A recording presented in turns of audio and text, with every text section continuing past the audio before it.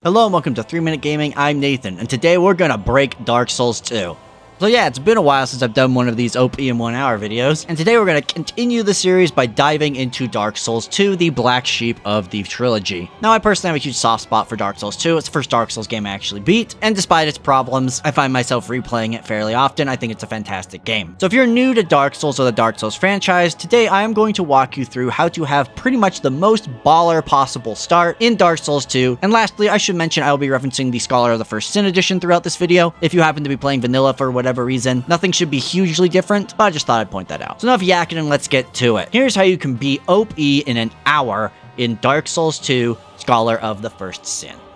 Alrighty, so one of Dark Souls 2's strongest strengths is it has a ton of build diversity when compared to other Souls games. A lot of people have even called Elden Ring Dark Souls 2-2 because of this. However, amongst all the builds, there is one I feel is busted when it comes to beginners, and that is a Rapier build. The Rapier in Dark Souls 2 is obscenely strong, maybe one of the strongest melee weapons in the Souls series, and this is for a variety of reasons which I will go over now. The main one is that it has great range and attack power, making it almost as safe as a spear, but without any downside. Additionally, when you are one-handing it, it's R2 is a parry, while two-handed you can get a more powerful stab. It also has a fantastic counterattack stat, which I'll get into what that means later, and it does a surprising high amount of poise damage, meaning you can often stun lock most small to mid-sized enemies with little issue. And lastly, since we aren't going to be augmenting it, you can put grease on it to add elemental damage against certain bosses. The secret best thing, however, is there are rings in the game you can get from very early on that amplify this rapier into the stratosphere. So for this build, we're going to go rapier and shield with a bow on the side, and honestly, you need nothing else to carry you through the entire game fairly easily.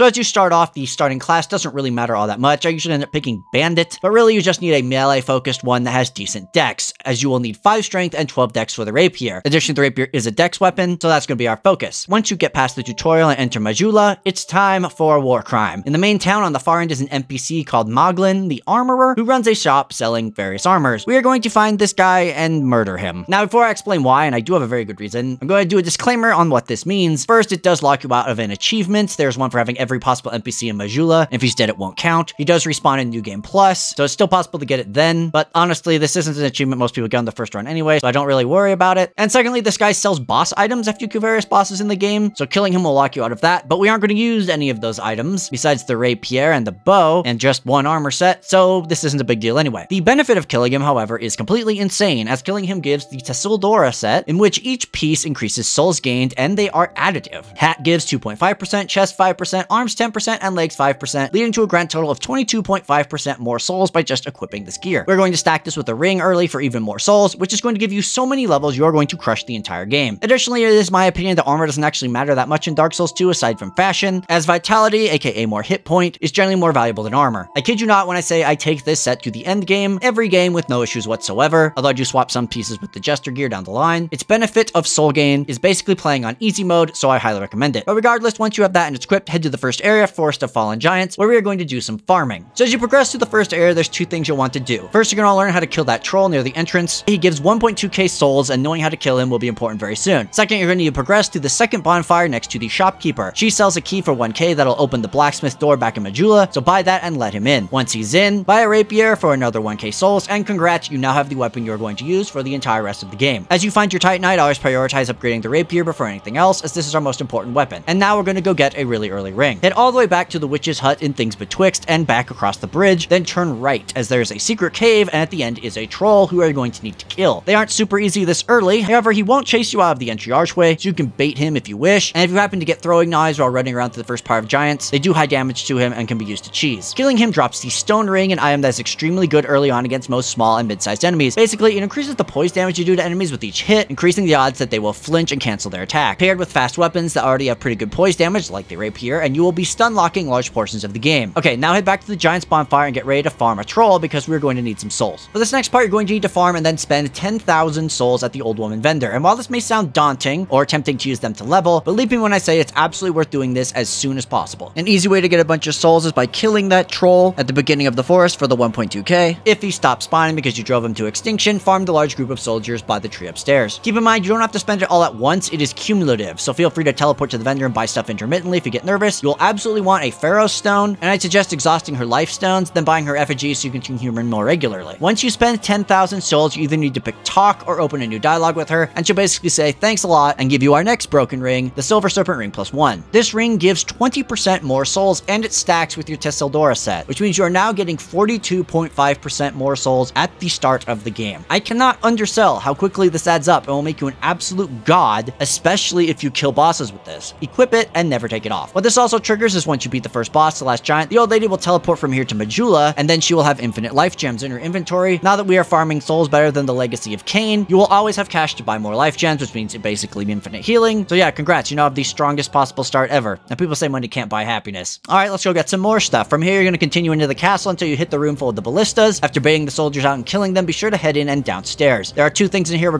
want to get. The first is you'll see a mouth on the wall where you can stick that Pharros Stone you found, which will reveal a breakable wall and two chests. Inside one of them, you'll find the Chloranthy ring. This straight up increases stamina regeneration by 12.5%, which is as great as it sounds, so toss that bad boy on. Also in here, you'll find a Titanite chunk, but you can also get a large shard to upgrade your rapier in here as well. There's a door at the far side of the room that you can't open, but if you attack it a few times and run away, the soldiers on the other side will open the door to see what's going on. Kill them, and in this room, you will find a chest with that Titanite shard. As mentioned, keep bumping up the rapier as fast as you can. So you're pretty well equipped for now, so let's progress through the game to get our next OP stuff. First, you're going to need to kill the first boss, the last giant, who's already a joke and will be even more a joke now that you are super strong. After doing so, you can open a door in the back of the castle that leads to the top of the ramparts and the next boss that holds an item we want, the Pursuer. Now, normally the Pursuer is infamous for being the first skill check of the game, where he's a fast-moving and tough foe to fight. There are tricks to killing him, predominantly around parrying, but if you really just want to establish dominance and murder him no issues, just do as follows. Upon entering the area, head to the left towards the ballista. You shouldn't need to run, and you want to get the Pursuer to be farish from the ballista, but still in line with it. Once you get to that ballista, mash use, and you'll shoot the Pursuer with the ballista bolt, stunning him and doing a truckload of damage. And hey, it worked once, let's do it again. Reload the ballista and fire again, and it should kill him instantly. Congrats, you passed the skill check with zero skill. Now, if you failed the ballista stuff or stuff is not quite lining up, you can fight him traditionally. As I mentioned, he's very weak to parries, but the ballista trick will work if you give it enough practice. Regardless, the Pursuer drops the Ring of Blades, an absurd ring with a rapier. It adds a flat 20 damage to every weapon attack, meaning it's not great on slow weapons and is completely busted on fast ones like a rapier. Equip this and never take it off. Alright, so if I'm being honest, from here you're pretty much set, but there is one more ring you can consider and it is in the next area. If you get over to Heide's Tower of Flame and fight your way to the left side of the stage, you will eventually fight through a dragon, and there will be an optional boss, the old Dragon Slayer, aka Ornstein. You shouldn't be too hard if you've done any level grinding and upgrade your rapier, so kill him and steal his ring, the old Leo ring. Now, the old Leo ring boosts thrust weapon counter damage by 12.5%, which I'll need to explain what that means. Dark Souls 2 has a unique mechanic where if you attack an enemy while they are in an attack animation, this counts as a counter attack and do a ton more damage. As you can imagine, when fighting bosses that have big wind-ups and wind-downs, the window for when the game considers in an attack can be huge, meaning you can do tons of bonus damage. Not only that, the rapier has an absurd counterattack stat, 140, one of the best in the game, so adding this ring is just more absurd. The downside, of course, is now we have five rings and only four fingers. I personally axed the stone ring, though I did swap it in and out depending on the situation. I basically never took the Ring of Blades and Silver Serpent ring off personally, but how you mix and match is up to you. Okay, so you have a billion souls now. What do you want to level up? Well, Dark Souls 2 is somewhat even more obtuse than Dark Souls 1, especially around agility and ADP, so I'm going to actually explain that really fast. Adaptability or ADP is a new stat that's only in Dark Souls 2 because it's bad. Or rather, the stat it's paired with is bad, agility. Allow me to explain. In the previous Souls games, your total gear weight determined the type of roll you did as well as its iframes. If you're too heavy, you'd fat roll and have less iframes, super light, you'd have a fast roll, etc. In Dark Souls 2, your roll animation does not change. Weight instead determines your stamina use and regen, which is actually also why the Tseldora set is really great. It's light, so your stamina regen is high. However, your iframes on this never-changing roll do themselves change based on your agility. I'm not going to go too deep into it, but basically you want your agility at 99 as quickly as possible, and this is where the first really good breakpoint is, and will make your rolls actually kind of feel usable. You get that by leveling ADP, and it should be somewhere in the mid-20s. After that, I would bump your endurance to 20, as that is the soft cap, and gives you a bunch of stamina. I'd also just dropping points in vigor now and again for health. You want your dex to get to 40, which is the first soft cap for that, and then you should push your ADP to its mid-30s, your agility hits 105. Once you are there, you are basically set for the rest of the game. Beyond that, put points in dex and strength as you wish, whichever bumps up damage for your weapon. And again, don't forget to put points in vigor, but you do get diminishing returns past 20, and basically nothing past 50, so don't go higher than 50. For endurance, I almost never go past 20 because its soft cap is really bad. And honestly, that's it for leveling. It's very simple. If you feel you're dying too much, feel free to upgrade your armor with leftover Titanite. But remember, bumping health or vigor Is usually the better option. So we have 5 absurd rings, an armor set that is going to make us rich, the best weapon in the game, and an absurdly strong start. Where do we go from here? Well, you're going to want a bow, but honestly anyone will work. Basically, it's just because there are enemies you can't melee in the game, and this will take care of them. I usually end up getting my strength to 20 and getting the Dragon Rider's bow from Straid. I also grabbed the Blossom Kite Shield in Sinner's Rise, as is both a shield and grants stamina regen, which is useful. Other than that, you're honestly set to go. Go poke everything in the game to death with obscene damage, watch everything stagger to death before your duelist might, and prepare to become the next king with little to no effort. You're going to have so many souls and so many levels, you won't know what to do with yourself, so get out there and beat Dark Souls 2. And that's all I got for you today. Thank you so much for watching. I apologize for the delay between guides, but you know I've been playing a lot of other games, but I hope this guide really helps you with Dark Souls 2, and I hope this build helps you crush it entirely. If you liked the video, please be sure to like and subscribe and do all that crap that everyone asks you to do at the end of the video. This is still a very small channel, so anything you do helps. But regardless, go out there and enjoy yourself some Dark Souls 2.